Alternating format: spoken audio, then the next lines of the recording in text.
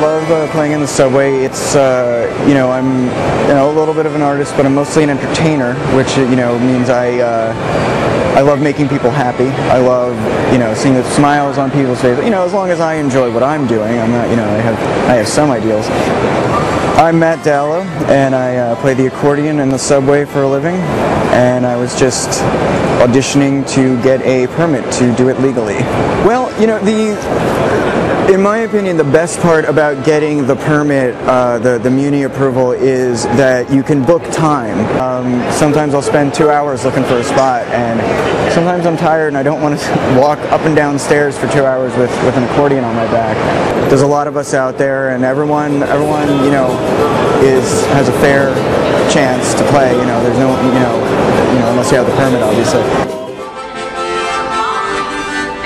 I always wanted to, but I was afraid to play in the subway. I um, I would actually go down there with my accordion and wait and think any minute now I'm going to pull it out and start playing and then I would just chicken out and eventually I'd just zip up the case and go home. Playing for the New York subway patrons um, has been interesting. Um, like I said, most of them very much appreciate it, uh, get really into it. I, um, I've made some good friends, I've made some good colleagues. Uh, people tell me all the time how I made their day. I see, I've seen, you know, groups of five little kids, all, you know, between the ages of uh, two and five, dancing the whole time they're waiting on the platform, and uh, it's very rewarding. Uh, maybe once in my life, someone from across the platform yelled at, yelled out at me like, "Get a real job," you know, and I'm like, look, I work a lot harder now than when I had a day job. I'll tell you that much, and it's it's absolutely true. You know?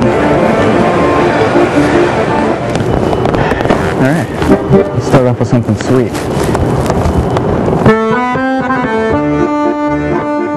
Música